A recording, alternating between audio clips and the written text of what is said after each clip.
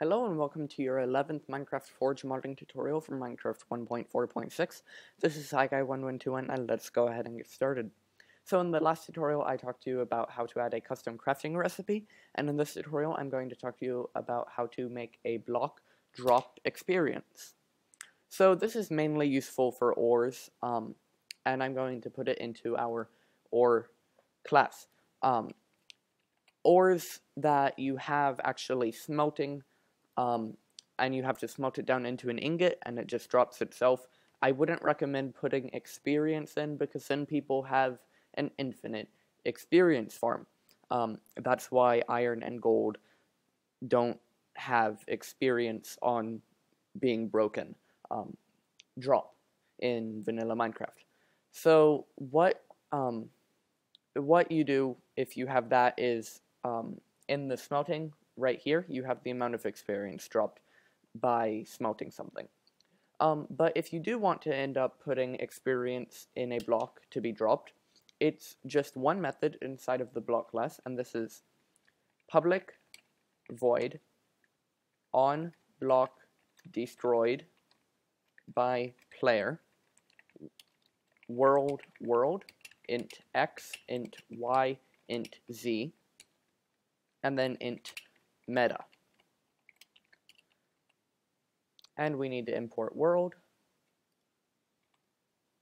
And you'll see it's giving us a little green arrow. Now this method is called every time a block is destroyed by a player, obviously. Um, and it's useful for a lot of things. I In this tutorial, I'm only going to talk about um, experience, but there's a lot more uses that I will cover in later tutorials. But the way you drop experience is just one line of code, and it is this dot drop XP on block break world X Y Z, and then you want to put in the amount of experience. So obviously, the larger the number, the more experience. I'm just going to put 100, which is a completely massive amount of experience. Um, now, if I just run it, you can see that if we go in and I switch to um, survival mode, that if I the, break this, not broke this, if I break it, it's going to give me several levels of experience every time I break it.